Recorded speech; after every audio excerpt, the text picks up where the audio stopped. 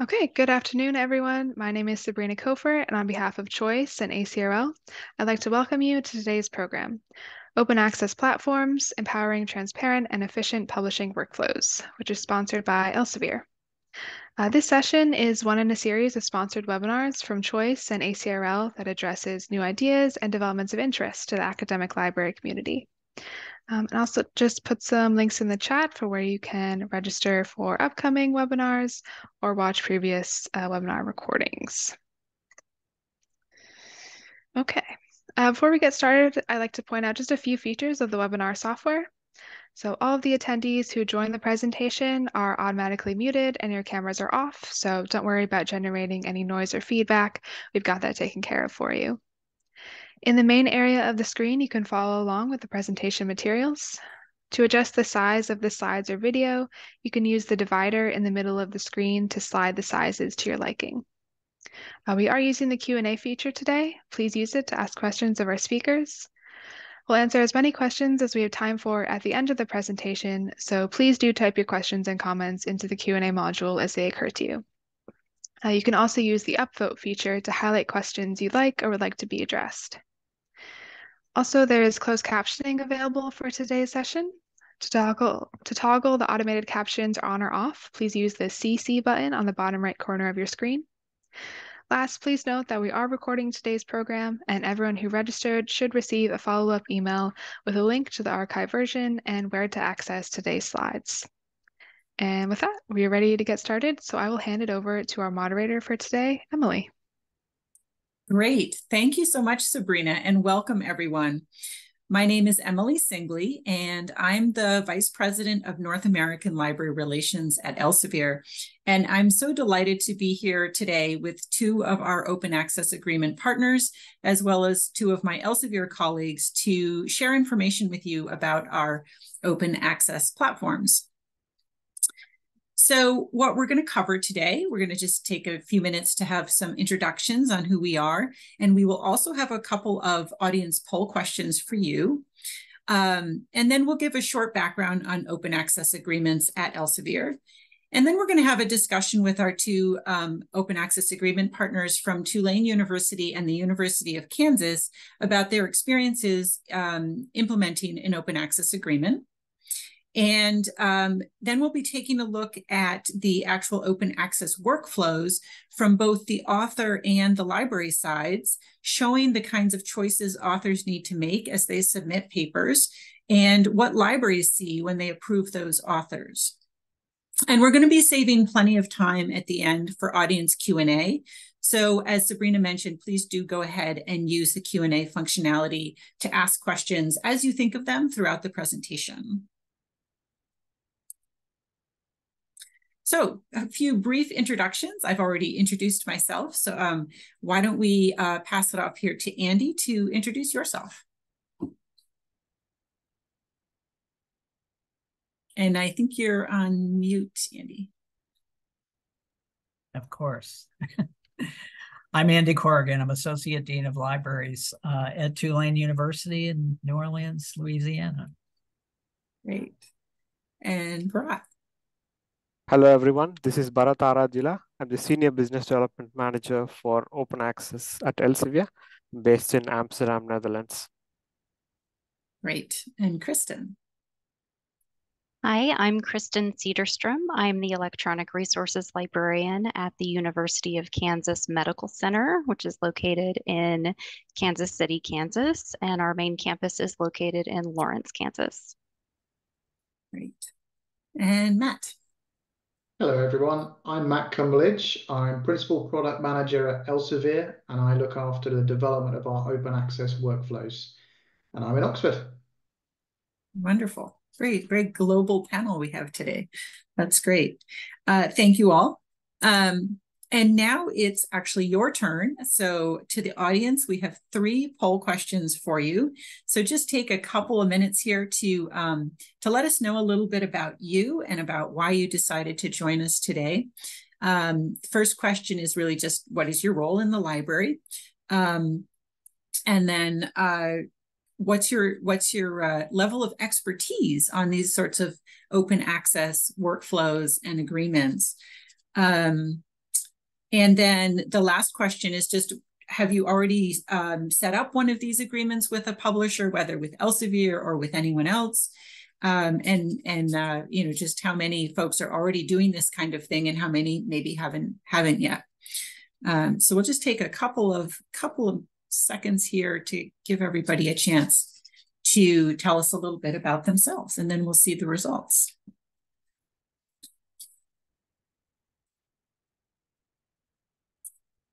All right. So poll question number one. Wow, we have a really diverse audience today. This is fantastic. Um, so a lot of people from a lot of different areas. There's not really one that stands out. So that's kind of interesting.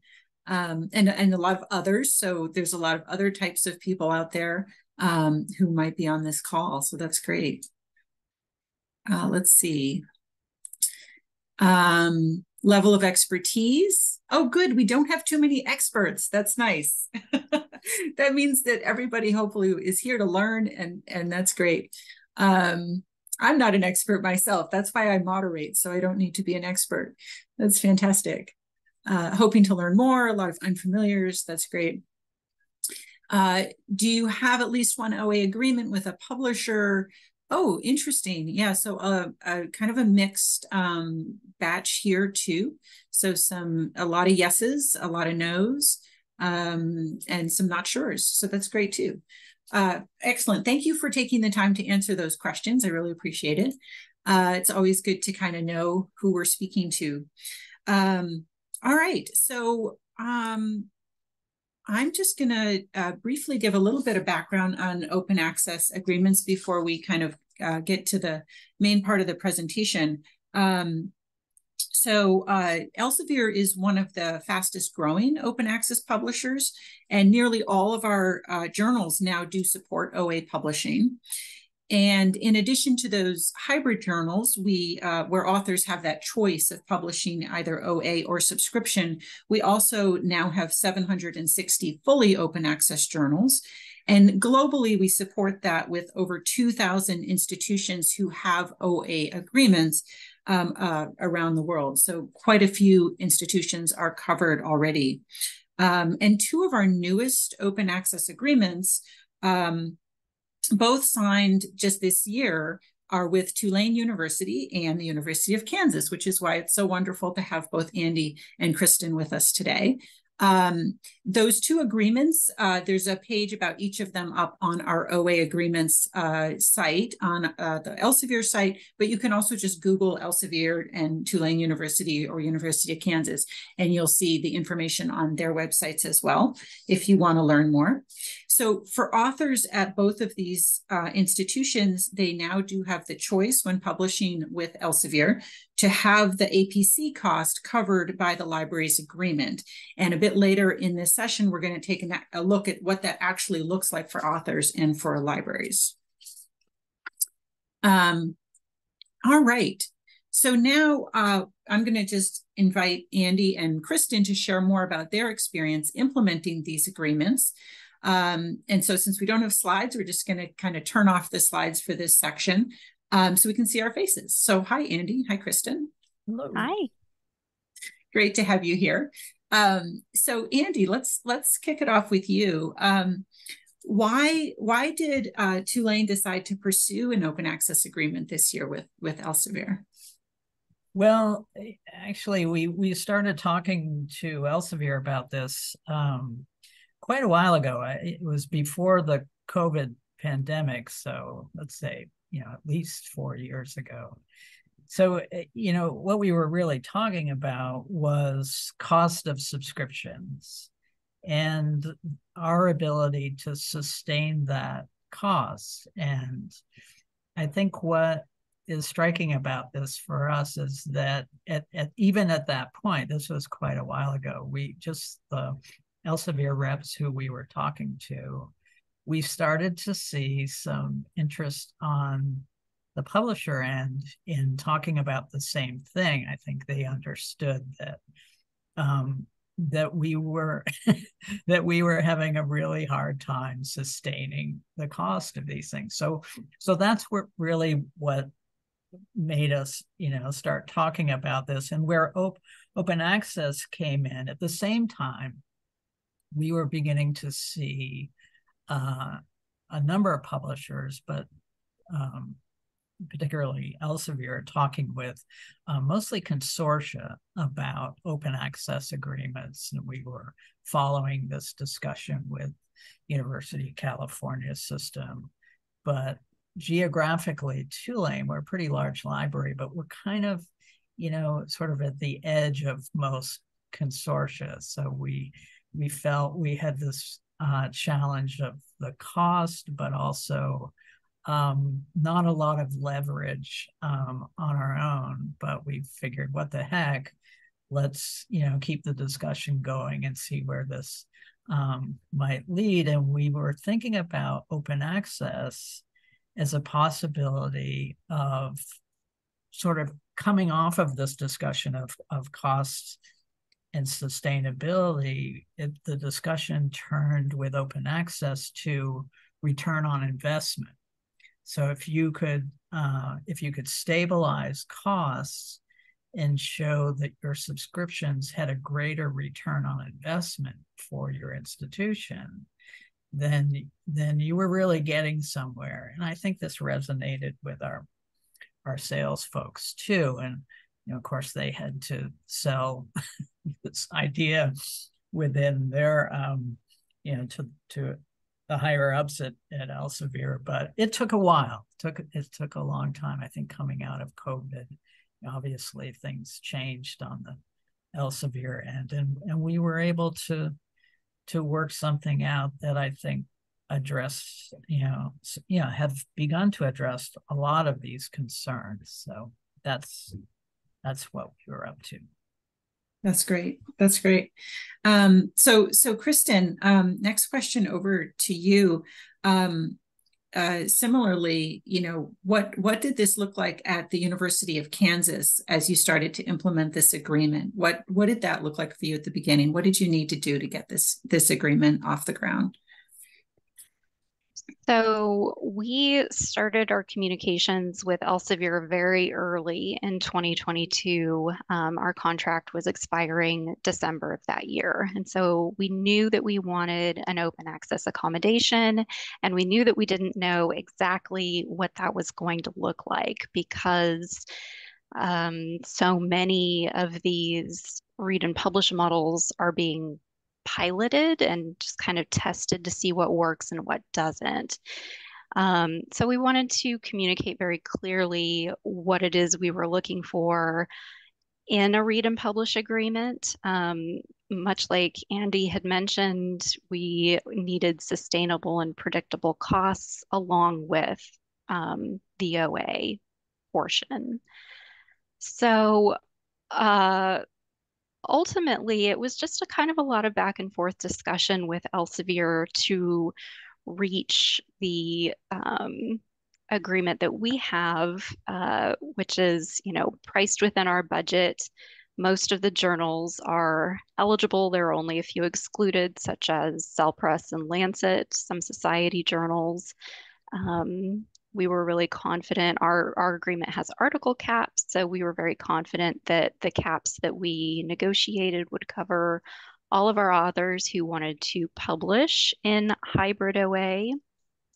We really wanted an accommodation for publishing in fully open access journals, and we had wanted that to be included with our article caps. Um, ultimately, we were not able to agree to that, but we did agree to a small discount on publishing in in fully OA journals.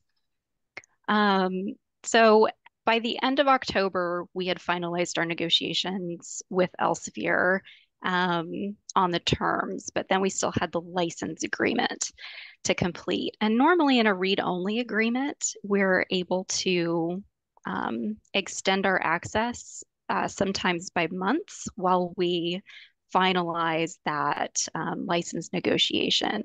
But in this agreement, because there's a published side to it, we weren't able to do that. We we had a pretty um, uh, rigid deadline of early January so that our authors could start taking advantage of uh, publishing under our agreement. So um, we managed to do that. We expedited the license agreement. Our dashboard went live on January 6th. We immediately received a, uh, request for funding.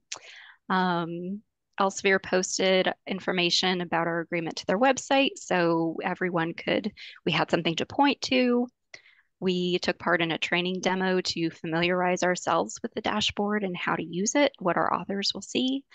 Um, so yeah, overall, it was, um, I think the negotiation process was the most uh, difficult and time consuming as they always are. Um, but the actual implementation of uh, the dashboard itself um, was very, very easy. And, and Andy, similar to you, like when, when you got to that, getting it set up and, and, you know, kind of getting that platform uh, set up on your campus. How did that go for you? Um, actually, pretty smoothly. Um, you know, for us, you know, our we didn't want a lot of restrictions on the on the agreement from the author side. We wanted it to be as, really as seamless as possible. And I've, you know, the lot of libraries or library systems have have approached this in different ways. I've, I've I think there's a group that would like to make sure that somehow the that authors contribute at least a little bit, and that um, you know has some advantage for their um, some perceived advantage. But for us, no, we we just want to keep it keep it easy. yeah, yeah, to keep it simple, get it out there. Our our only real interest is in confirming the eligibility of, of the author. Are they indeed a, a Tulane affiliate? And, and so th- that's our primary interest in this. We really want to just get this out there to as many people who are using the subscriptions as as possible. And that seems to have worked pretty well. It, it's it's relatively easy to follow. I, I can say that, you know, in in in setting this up, it was important to find the right model for this, you know, in hmm. discussing mm. this with Elsevier. You know, there there are there's the read and publish, the publish and read, you know, the ones where that you pay extra upfront for this, and then there are the ones where the cost is more built into the subscription, and then there's the limits on the number of article waivers and so on. And I think Elsevier for us at, at the end when we fin- finalized our deal, we had elements of a lot of these different models, but it's it's it's pretty good. It's it's one of. We have a number of these agreements now, and this this is one of our better ones, I think. That's great to hear. Yeah, it's great that you had that flexibility to be able to sort of put something together that worked for for you. Um, so so also, yeah, for you, Kristin, so, Andy, you mentioned someone at the library has to approve um, the the author, right? Are they affiliated? Are they actually a Tulane person? Um, what does that look like on your campuses, Kristin, in terms of who who in the library does that approval and how do they do it? Yeah, so um, we, even though we're a single university, the University of Kansas, we uh, have our main campus in Lawrence and our medical campus in Kansas City. And uh, each campus uh, has different systems for verifying our author's affiliation. So it was really important to us to have representation um, at libraries on both campuses to be able to review what our authors are um, submitting and approving uh, those requests. So um, Elsevier was able to set up uh, separate logins for each campus. Uh, so we can each log into the dashboard and approve our own authors. I uh, review and approve the authors at the medical campus, and uh, the e-resources service specialist over at the main campus reviews and approves their authors. We can see each other's in the dashboard, so we can see the whole combined, but we both have access, and that's been really essential to our workflow. Yeah, and I imagine at a medical campus, you have a lot of you more complexity in terms of who's affiliated and who's not, right? So it's important that the medical campus librarian be able to do that, you know, instead of having to rely on the um, Lawrence campus, right? Right. Yeah. Um, and essentially, you know, anyone who is eligible has uh, kumc.edu email, okay. and that's that's how we're able to verify. Um, but we do have, you know, in addition to faculty, staff, and students, we have we have residents, we have um, fellows, so we have a lot of different um, varieties of eligible corresponding authors. Did you have any of that kind of complexity at Tulane, Andy, or it, is it? Does it all go um, through one library, or how does that? Work? It all goes you? through one library. Um, I I think it, at the end of the day, you know, some of this is mitigated just by you know who who is likely on your campus or campuses to submit articles to Elsevier journals for publication, and, and that, that's true. That that filter has a tendency to filter out a quite a number of problems. So, so in that sense, it's it's worked pretty smoothly for us. I think with it, having a number of agreements, the publishers do seem to have their different dashboards for monitoring this, and you know, I think this might become a challenge for us as we add more agreements but but so far so good. It, it's worked pretty well. Just the the one thing that's given us problems uh, not with this publisher but with another is the cap.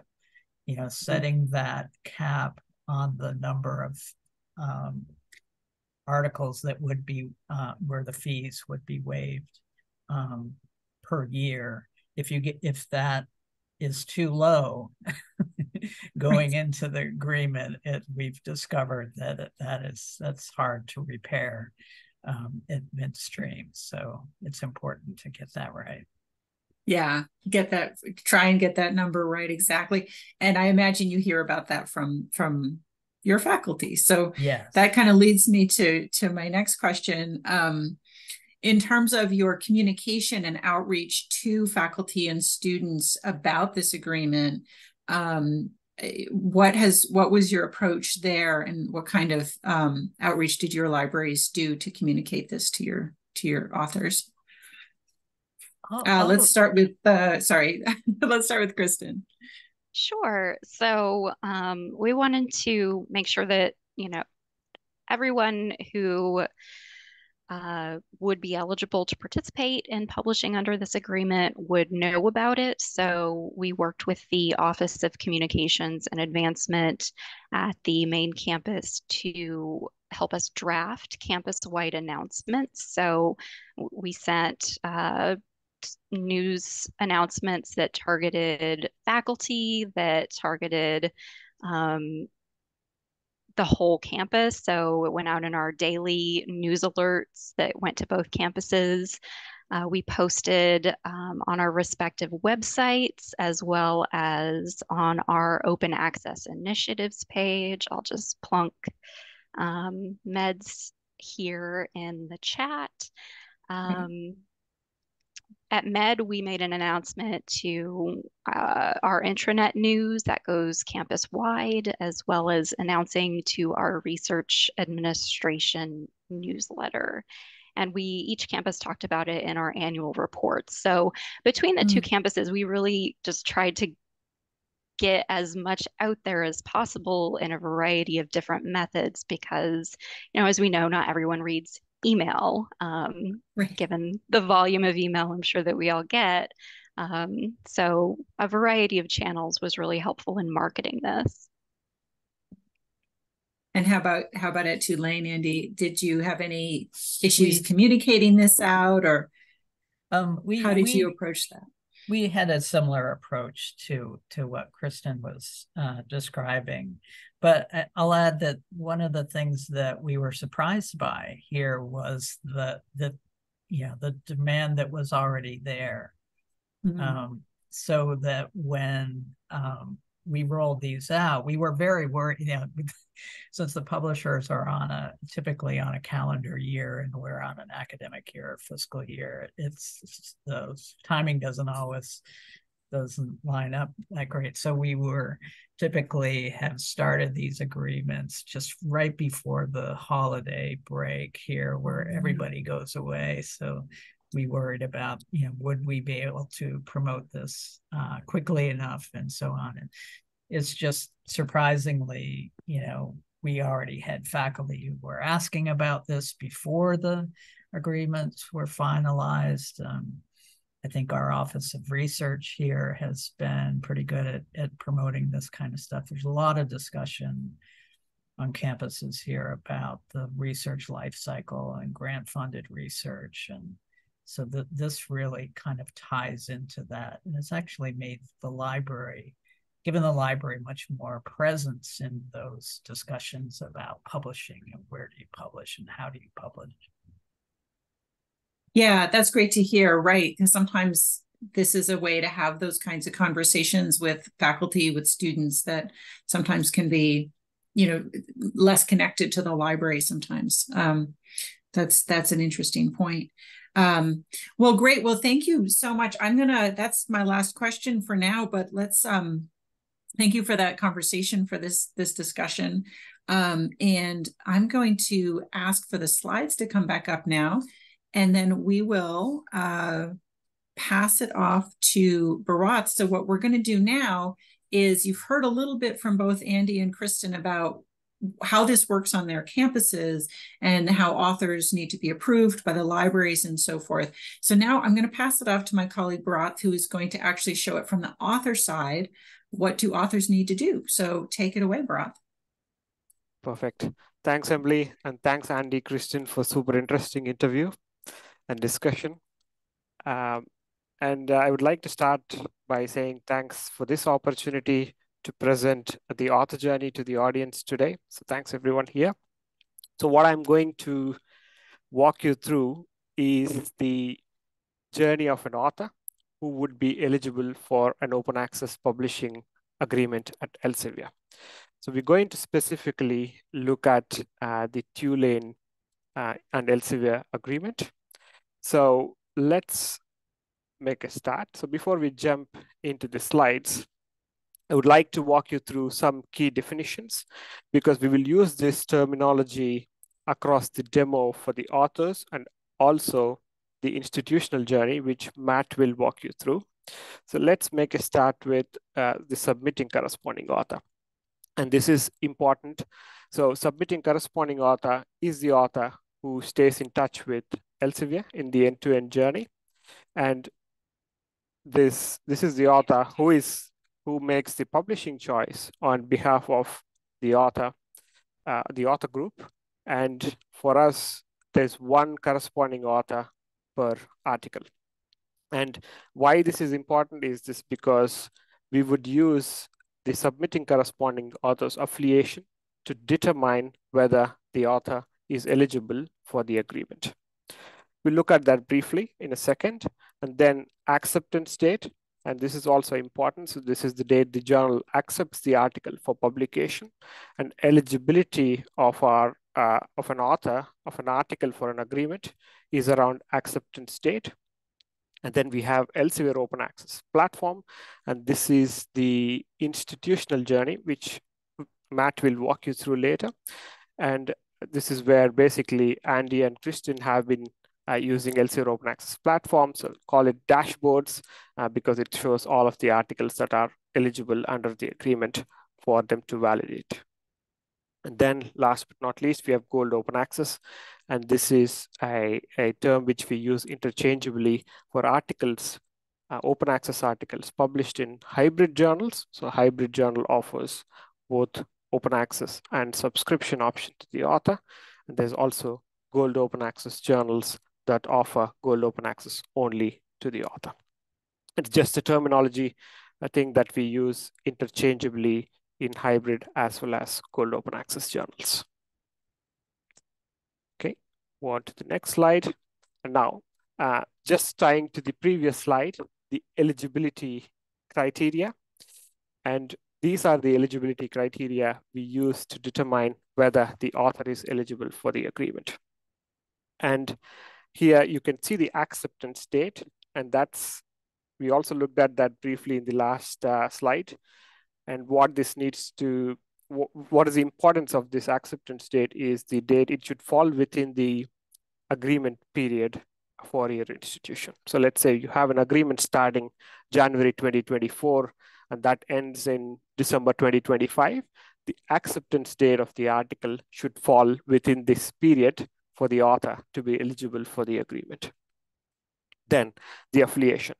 And this is also uh, a one of the eligibility criteria. So the submitting corresponding author must be affiliated with a participating institution. So the example we're going to look at is from Tulane University.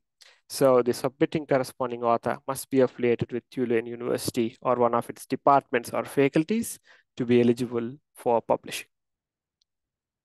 Then we have the journal title. So this every journal, every agreement has a list of journals uh, that are eligible, which is pretty much standard across all our publishing agreements.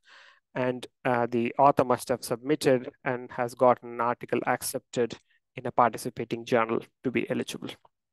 And you can see on Elsevier agreements page which agreements we have and which journals are participating in each of those agreements. It's all publicly available information.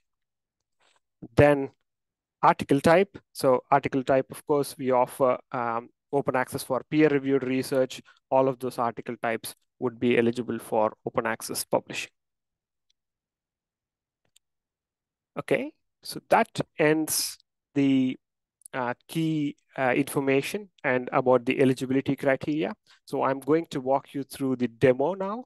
So what an author sees when they're eligible for a Tulane University and Elsevier agreement. So if you remember my slides about eligibility criteria, so that's going to play a role in the journey.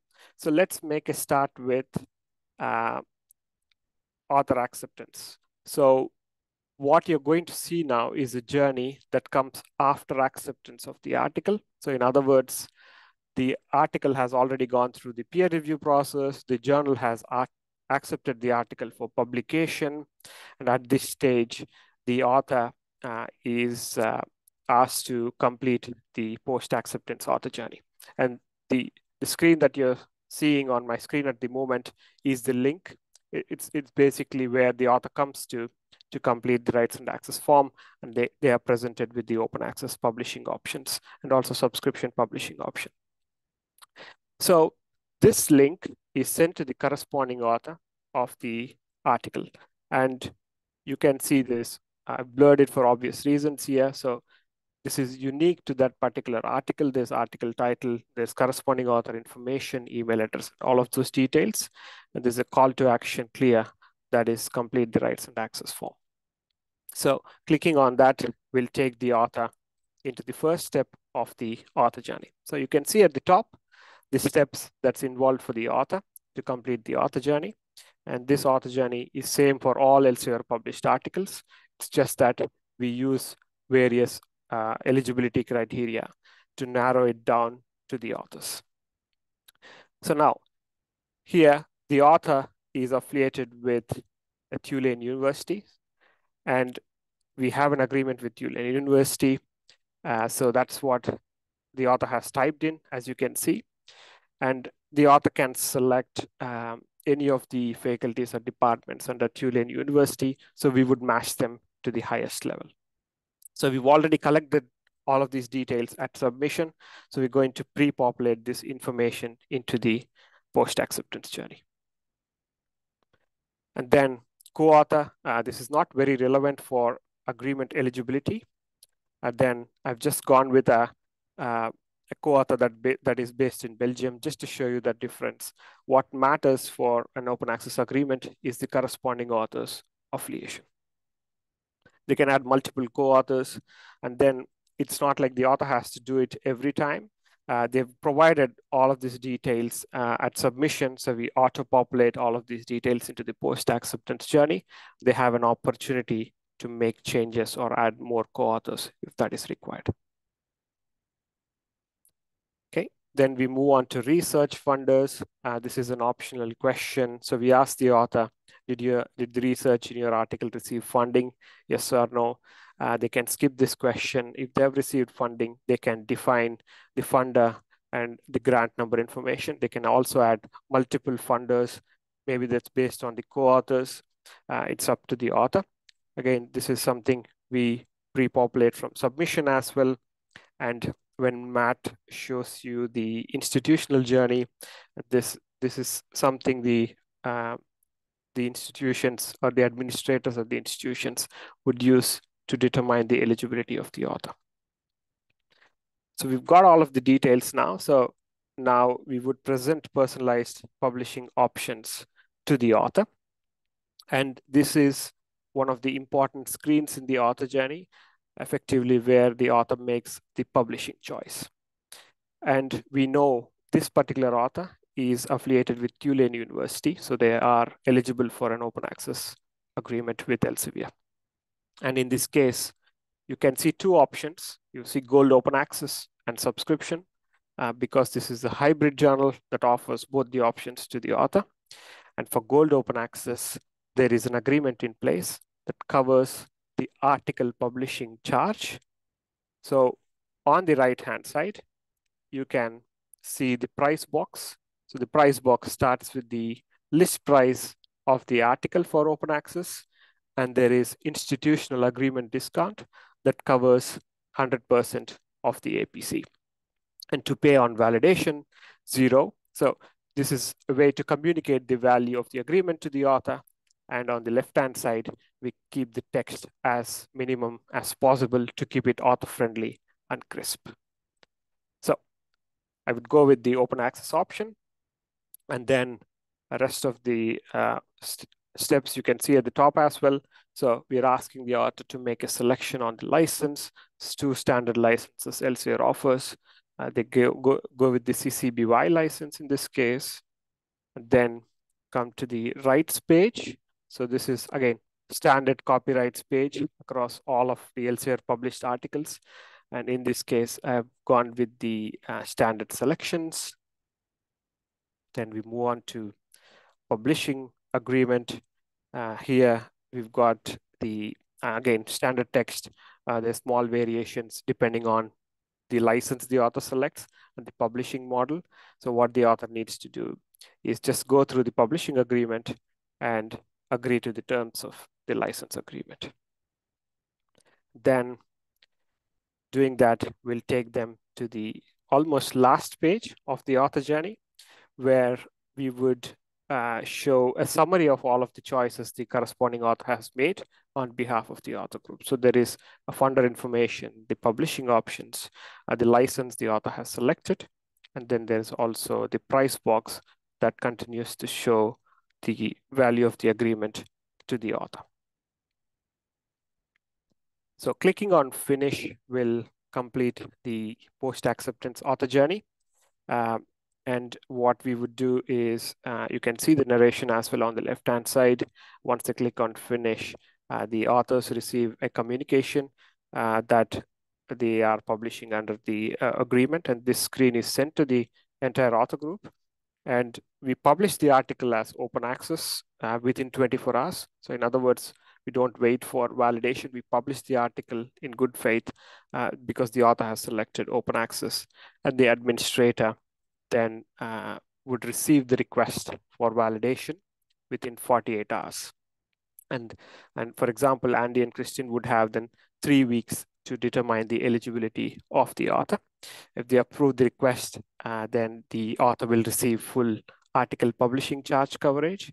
If you reject the request, because this is a hybrid journal, then the author has a choice to pay it themselves or through a different fund, or they could publish subscription free of charge. So that pretty much ends the author journey. So I will hand it over to uh, Matt for the institutional journey now. Fantastic. Thanks, Bharat. And indeed, so we're going to switch gears now. And having seen the author journey end to end, we're now going to dive into the institutional workflow and what I'm going to show you is the journey that um, Andy and Kristin's team undertake to validate requests and also to keep track of their agreement. And It's very straightforward, in fact, in terms of a workflow. Uh, the librarian logs into our Elsevier open access platform, which looks a bit like this on the, the main screen. And what you can see is you're presented with a set of APCs that you're asked to approve the eligibility for. In this case, just one. And you see the, the kind of main basic information about that APC request that is presented in the initial card. You can see it does start to grow over time, that queue, and you'll, as the agreement gets underway, um, those requests being approved or rejected, uh, they move into the separate folders that you can see in the, the filters at the top of the requests box, the pending, pending older, where we ask you to take a look at some of those, uh, those requests that maybe have gone a little bit beyond the initial period. Once they're approved, they move into the approved folder, and any rejected move into the rejected folder. Of course, you can take a look at all of them uh, by using the all filter. And um, what some people tell us that they find quite useful is to, to look at the all folder and then use that big generate report button that you see, the big blue button saying generate report, just to download the details and all the metadata that's associated with all of those inbound APC requests. We, we understand that people find it very useful to be able to get access to that data uh, when they need it. But typically what people are doing is coming into this screen and opening up one of these APC requests. And if I click to the next slide, you'll see what happens and what you get to see when you move, go into one of those APC requests. You see the article title. You're able to click and view the article on Science Direct, so you can take a look and see how that article has been presented in terms of acknowledgements, etc. You see the institution that the author is claiming affiliation to, obviously their, their name, um, and critically their email address. I think we heard from Andy earlier and Kristin that email address is, is very important in terms of being able to validate eligibility for the deal. So uh, critical piece of information there. Actually, um, hot off the press, we've also added one additional piece to this, which is the ORCID ID of the author. Not presented here, those uh, screenshots came in uh, a bit too early. But ORCID ID, if the author gives us the ORCID ID during submission, we will present it back in the APC request screen here also to help with identifying that author as part of the institution. You also see some of the other important metadata about the article, what kind of article, what type it is, the full-length article or, otherwise, what journal, the journal type, what license the author selected in their uh, the author journey that Bharat showed, um, the identifier for that article and the DOI so that you can keep track of that DOI. You also see the grant ID information that the author uh, input during their journey and some of the key dates like accepted and when the author completed their, their uh, workflow. Um, and then pretty straightforwardly, the uh, librarian or, or open access administrator will either approve or reject that APC request. And in this case, they're going to click approve. They've left the box ticked that you see there, notify the author. So that will send out an automatic email to the author that congratulations, your APC request has been approved by your institution. And um, that completes the workflow. But in addition to the workflow, our Elsevier Open Access platform is also very useful for keeping track and an overview of how the agreement is going. And we offer um, this reporting functionality that helps everybody keep track of how uptake is going. Uh, there's too much data to present on a single slide, but a couple of key uh, screenshots that you can see um, help uh, help uh, librarians keep track of things. So the different agreements that are in place, and in the case of uh, consortium style arrangement, you can filter by institute, um, what kind of publishing model it is, whether it's hybrid or open access, the start and end dates, so you can filter down to that, and what the status is. But overall, you see, you know, in this case, we've had 99 articles in total that would, would have been eligible for the agreement. we've had 58 have been accepted, one was rejected, and three are working their way and not yet uh, come into the platform because the author hasn't quite completed their journey yet. And then 37 articles are remaining uh, in the subscription model. So it's a really good way of keeping track of uptake of the agreement.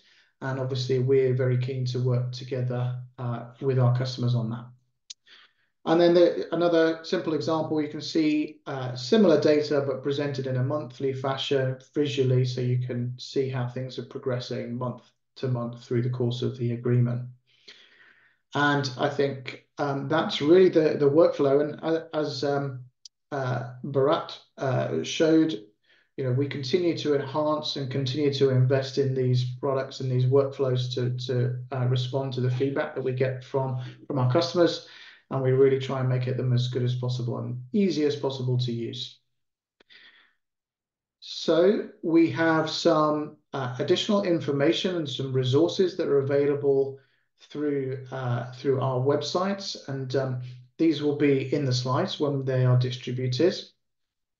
But I think that finishes our, our demo, and let me hand back to Emily to take some questions. Great. Thank you so much to all of you, to Andy and Kristin and Bharat and Matt. What a what a great session and, and so informative. I really learned a lot um, working with all of you and, and putting this together. So thank you. Thank you for all of your hard work. Um, so yes, at this point, we have about 15 minutes left for um, audience Q&A. We, we do have some folks who've already put their questions into the Q&A. So I encourage you, if you have any questions for any of us, please do put them into the Q&A um, functionality there. Um, and uh, also, if you have additional questions or want to contact any of us directly after the session, please feel free to do so. And we have put our email addresses up on this last slide. Um, and the slides and recording will be uh, shared on the ACRL Choice website. So you will be able to go back to them and, and click on these links and, and see our emails and so forth. Um, so yes, so uh, let's uh, let's go into the Q and A. We've and get started. We've got a bunch of them here. Um, so first question uh, from Hillary, and this is, I believe, to um, really to uh, to Andy and Kristin. And Hillary writes, "Do you all have agreements with other OA publishers, or was Elsevier your top priority with establishing an OA agreement?" So, little question there about how many other agreements you have. Um, I don't know um, who wants to take go, that. Okay, first. Andy. Elsevier was probably one of our I don't know, maybe our third agreement, third or fourth. So we have currently we have an agreement, an OA agreement with Elsevier. We have one with Wiley, have one with Cambridge University Press. Uh, American Chemical Society was one of the early ones, and then we have some small, some agreements with some small publishers, and then we have two that we're about to. Once again, it's December the end of the calendar year. We have two new ones that we're about to roll out. One that's not quite an agreement that's not quite completed, but the other one is our first consortial agreement. It's a, it's uh, and that one is an arrangement that Lyrasis has worked out with Springer, and so we're ac- anxious to find out the the details of that very soon so we can get that info out to our faculty before the holiday break. How, how about it, Kansas, Kristin? So um, it was largely related to timing and what was being offered. So we already had a sort of an agreement in place with Taylor and Francis. It was really just a deposit account. Um, for us to approve um, our authors. So not really a traditional read and publish type agreement. Um, we've also had um, some agreements with publishers such as PLOS um, around the time that uh, KU completed the Elsevier agreement. KU Lawrence completed an agreement with Cambridge. Um, that is not med authors are not eligible for that agreement, so it's it's a Lawrence only. Um, and I am going to post. So both of our OA initiatives pages are in the chat now, and you can see ones that are limited to med and um, Lawrence. Of course, they have more funds than the medical campus does, so they have more agreements um, available. Uh, one thing that I we've we've attempted to negotiate with um, Wiley, Springer Nature, Sage, and Taylor and Francis. Um, we had unbundled many of those packages, and it seems the trend is that they want um, they want us back in the big deals, and that is not something that we're budgetarily able to do. So that really precludes us from being able to participate in some of these uh, read and publish deals. Yeah, great. Thank you. Thank you both. Um, yeah, a whole bunch of questions in here. Um, let's see. Um, we have a question here from Rhonda. If the license agreement, and I'm, I'm, not sure I fully understand this. So if the license agreement is not completed by a given date, are you able to go back and retroactively make articles OA through the agreement once all the formal paperwork is completed and your OA workflow is active? So I think this is a question about you know somebody submitted an article before the agreement was signed and you want to make it retroactively open so um, anyone want to want to jump in on this one so I think this is response to um, me mentioning that we had to expedite the license agreement to have it completed by early January. Um, I will say I don't know if you're not able to complete it until, let's say, March, if you can retrospectively from January to March um, flip those articles to OA, I think that would be a question for Bharat. Yes, thanks, uh, Kristin. So I think it depends on the agreement itself. Uh, usually we have, like Kristin said, we usually we have agreements that are being signed right before the start date so we can uh, help the authors. There are some cases, of course, uh, depending on the agreement and what's agreed, that we could retrospectively offer um, the uh, open access option to the authors under the agreement. Um, so I think that's, if that is the case, I would suggest discussing that with Elsevier, of course, uh, uh, if you have any plans of having an agreement and then we can certainly come back to you with the answers specifically for that agreement. Great, thank you. Um, here's a question for you, Matt, I think. Um, Josh writes, is Elsevier researching author motivations to choose subscription access when they can freely publish openly? Is that misunderstanding, confusion, principled stance? So I think this is about that screen that Bharat showed in the yeah. in the um, author workflow, right? Where you can choose subscription. Yes, indeed, and and I'd probably ask uh, Bharat to comment as well. But yes, we we definitely do try and understand the author motivation. Um, you know, we we are trying to drive uptake of the publishing agreements, the open access publishing agreements, as much as we possibly can. And actually, over time, we've honed the wording that we present to the author to try and make it as straightforward and simple as possible. And we do survey the authors very regularly to, to get their feedback about, you know, what are they seeing? Is there something they don't quite understand? And we try and make uh, small incremental improvements to, to try and drive that. Um, I think what remains, there is still some misunderstanding um, in the author community, and we definitely, you know, are trying to work together to to iron that out. Um, but yeah, we do see it's mostly misunderstanding that uh, that people choose subscription at this point. Great, thank you. Um, and then uh, th another question here. Um, this one's from Rhonda. How do we know our institution's eligible eligibility date for publication? I think I think depends. that's a Bharat question. Yeah. So indeed, so Rhonda, I don't know if you already have an agreement with Elsevier. So the institution eligibility date would only come into picture if there's an agreement with Elsevier. So let's say your institution has a, an agreement starting 1st January 2023, that would be your eligibility date for the agreement in place. But for the authors, they can publish it anytime in anytime in uh, anytime basically. Does that answer your question? I think that makes sense. Yes. Um, great. Um, and then let's see. Uh, here's a great question from Julia.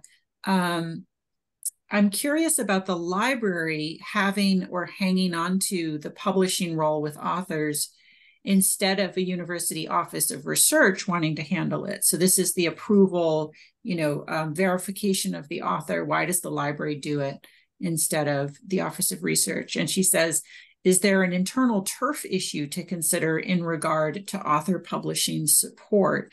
And I don't know, I'm going to throw this over to our librarians first. Was that ever a consideration? Like, should the library do this or should the um, Office of Research do this? And so, Andy, do you want to take that one?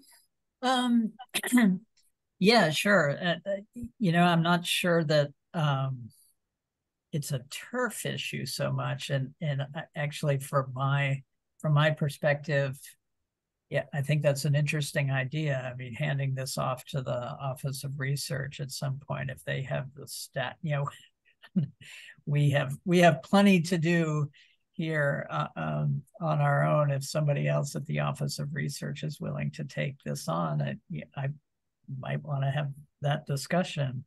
Um, but it, it's it's no, it, it's it's not that much of a turf thing. I, I think it became part of the library just because that's where the subscriptions originate, and that's it's the library that negotiates the agreement and the license. So yeah, that's great. Yeah, I think it also probably varies a lot institution by institution, library by library, right? Different countries yeah. do different things. Um, so we have a question here from um, Laxman uh, asking if we could say something about Plan S and and that implementation. And so Plan S is a program in Europe uh, which supports open access um, so, Matt or Bharat, have you been involved in any institutions that are uh, signatory to Plan S, and what did those implementations look like for for these platforms? Was there any difference? Anything you want to say to comment on those those European agreements? Yes, I can comment a bit on Plan S uh, implementation. So, we have uh, there's a and a coalition S. There is a group of funders uh, who would uh, allow publishing open access, who would cover article publishing charges for articles published in open access journals and transformative journals. And for open access journals are the list of titles where open access is the option. The authors can only publish open access, and these funders would pay article publishing charges by default. And uh, we also have some transformative journals. So transformative journals are hybrid journals that uh, will eventually move to open access publishing model completely in, the coming years. And uh, the Plan S or Coalition S funders would also cover the article publishing charges for authors funded by, by them. Um, and that's what I can uh, comment on. Um, and of course, there's also Coalition S website, which I, will share the link with you. And these policies uh, keep changing on a regular basis. And Elsevier generally works with Coalition S group to make uh, changes that is required as well. Thank you, Vera.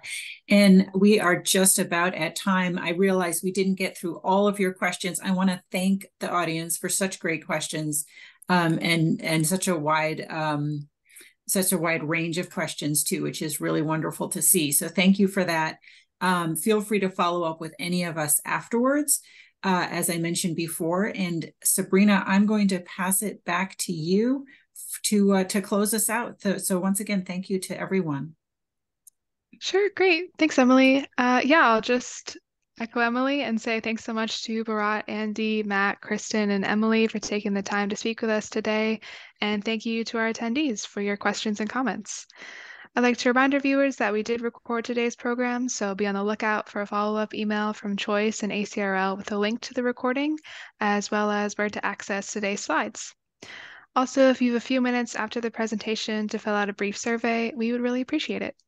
So thanks again to all of you out there for joining us. We hope you learned something new from the session and hope to see you again in the near future on another webinar. Thanks, everybody.